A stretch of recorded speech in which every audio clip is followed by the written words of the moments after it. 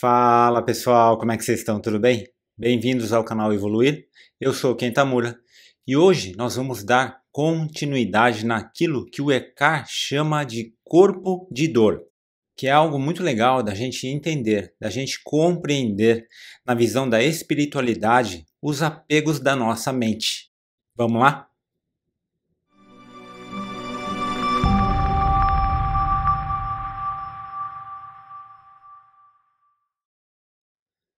Antes da gente continuar, você já sabe, eu pedi para que você deixe seu like, deixe seu joinha, inscreva-se se você ainda não se inscreveu.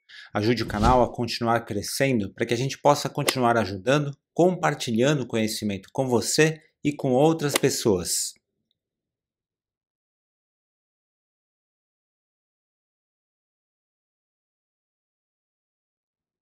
Tem uma história que a gente já comentou aqui no canal, mas vale muito a pena a gente contar novamente.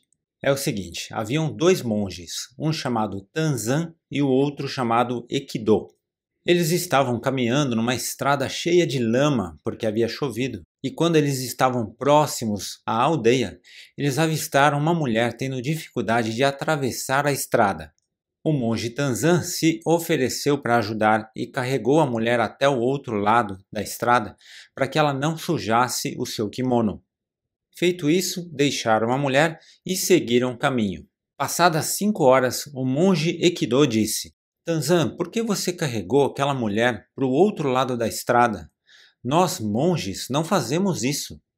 E o amigo respondeu: Faz horas que eu coloquei aquela mulher no chão mas você continua carregando ela até agora. Interessante, né? Já pensou como seria a vida de uma pessoa que ficasse carregando o passado, como o monge Ekido fez? Eles caminharam por horas e horas, e ele ficou com aquilo incomodando dentro da sua mente, carregando uma energia totalmente desnecessária. Pois é, só que essa é a forma que a maioria das pessoas vive ficar carregando algo que já passou é algo muito normal hoje em dia. E ao mesmo tempo, se a gente for pensar bem, não tem nada de normal nisso, não é? Quando lembranças que nós temos se transformam em pensamentos e em narrativas que justifiquem que a gente carregue esse fardo do passado, é aí que começa o problema. Imagine uma pessoa que joga todo dia na loteria o mesmo número. Então, um belo dia, ela deixa de apostar por algum motivo qualquer, e é nesse dia que o número dela sai. Essa história é curiosa porque eu conheci exatamente uma pessoa que passou por isso. Para piorar, ela e a família passavam por uma situação difícil financeira naquela época e eu me lembro que ela chorou muito nesse dia. O que o Eckhart explica é que a maioria das pessoas, quando passa por algo assim, fica carregando essa memória, essa dor por muito tempo. Baseada no quê? Na narrativa de que a vida seria outra se ela tivesse feito a aposta naquele dia. Eu perdi o contato com essa pessoa, mas espero que ela tenha lidado muito bem com isso. O que o Eckhart ensina é que dali para frente, se aquela pessoa acreditasse que toda dificuldade financeira foi devido ao fato de não ter feito aquela aposta naquele dia, então ela teria mesmo ficado presa ao passado. Um outro exemplo e bem mais comum acontece com os traumas de separação. A separação pode ser um término de namoro, de noivado, um divórcio ou uma separação física de alguém que partiu para um outro plano. Seja como for, a separação implica de termos de viver a vida dali para frente sem aquela pessoa. E se não tomarmos cuidado, vamos ouvir todas aquelas narrativas dos pensamentos para ficar alimentando e carregando a dor da separação por muito tempo.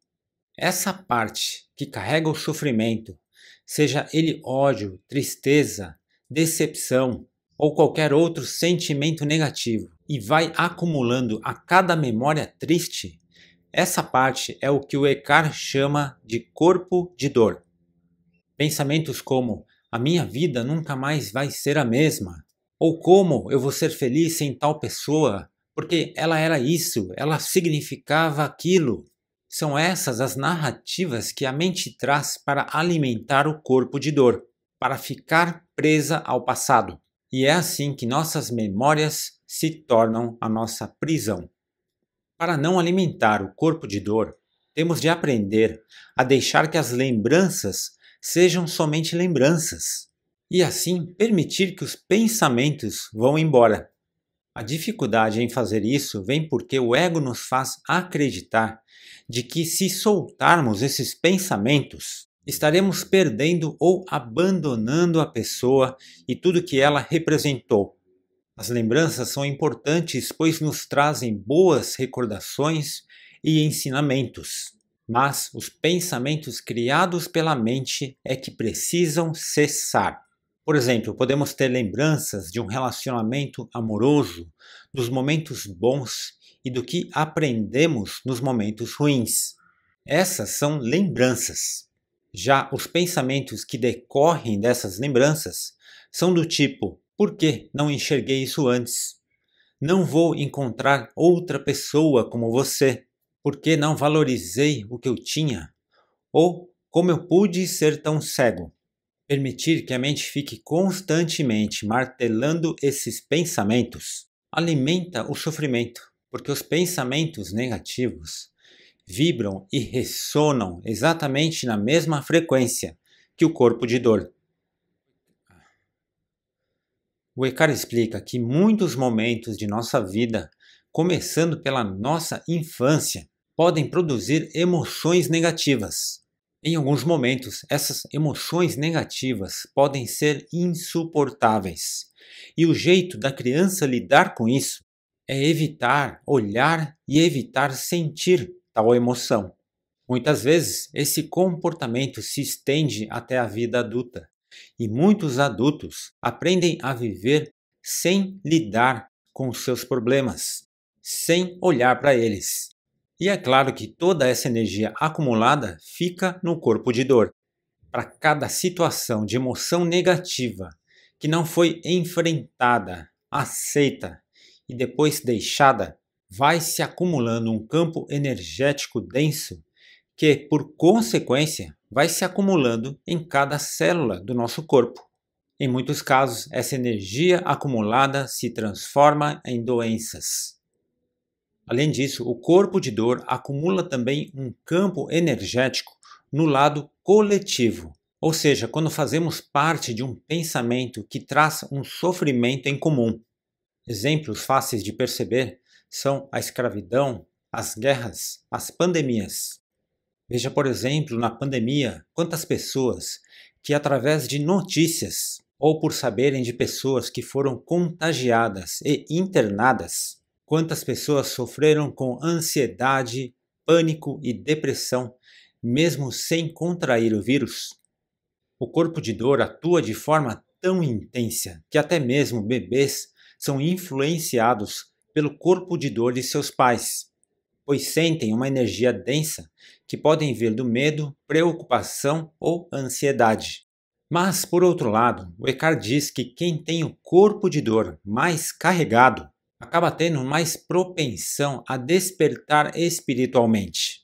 Isso porque a carga de dor pode se tornar tão grande a ponto de não ter mais saída. O despertar muitas vezes vem quando se atinge um limite de infelicidade insuportável. Outro ponto curioso é que ele fala daquelas imagens de sofrimento que nós vemos em alguns locais religiosos, e sendo a maior referência Jesus Cristo na cruz. Ele explica que essas imagens de sofrimento entram em ressonância com o corpo de dor das pessoas que vão buscar por salvação. O corpo de dor precisa ser alimentado com frequência para sobreviver. E o alimento, você já sabe, são energias de baixa frequência vibracional. Qualquer sensação dolorosa alimenta o corpo de dor por isso, ele se alimenta de pensamentos negativos e principalmente de conflitos. Conflitos internos e conflitos com outras pessoas. O corpo de dor é algo presente dentro da nossa existência de terceira e quarta dimensão e é viciado em infelicidade. Uma das formas de perceber que o corpo de dor está com fome é quando a pessoa está num senso de humor negro e pesado, sem capacidade de ver o lado positivo das coisas, focada nos problemas, sentindo raiva, ansiedade impaciência. Portanto, é fácil de ver que pessoas com esses sintomas passam a ouvir demais os pensamentos que alimentam o seu próprio corpo de dor. É um ciclo onde pensamento atrai emoção, que produz ainda mais pensamentos de energia densa, de energia negativa. Acontece que todo pensamento produz energia, certo?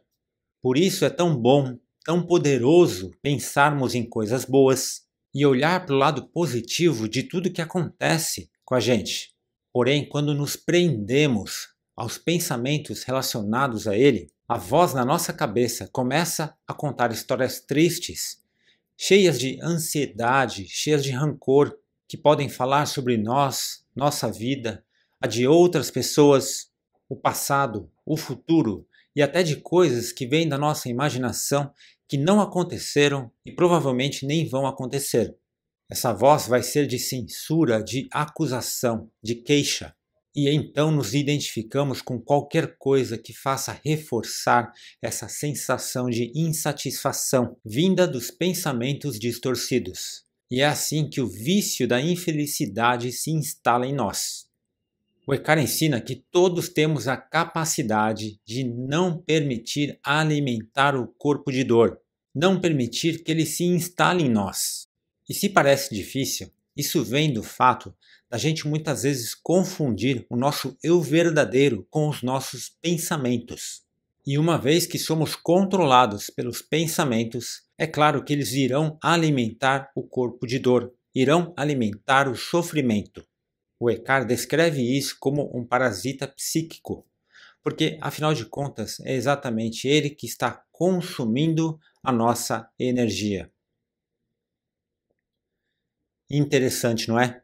Ajuda demais a gente a entender porque a maioria das pessoas vivem em ciclos de sofrimento, vivem em ciclos de problemas, porque sem conhecimento elas simplesmente vão vivendo no automático simplesmente estão sendo controladas pelos seus pensamentos e alimentando o seu corpo de dor.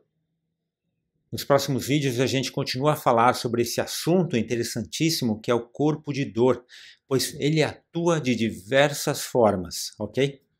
Comente aqui quais são as suas percepções e se você percebe o seu corpo de dor, tá bom? O vídeo de hoje fica por aqui. Espero que você tenha gostado. Se você gostou, deixe seu like, deixe seu joinha. Inscreva-se se você ainda não se inscreveu. Ajude o canal a continuar crescendo para que a gente possa continuar ajudando, compartilhando conhecimento com você e com outras pessoas. E se fez sentido para você, compartilhe com as pessoas que você ama, com seus amigos e a sua família. A gente se vê no próximo vídeo. Gratidão por ter me acompanhado até agora Fique com Deus e que todos nós juntos possamos evoluir.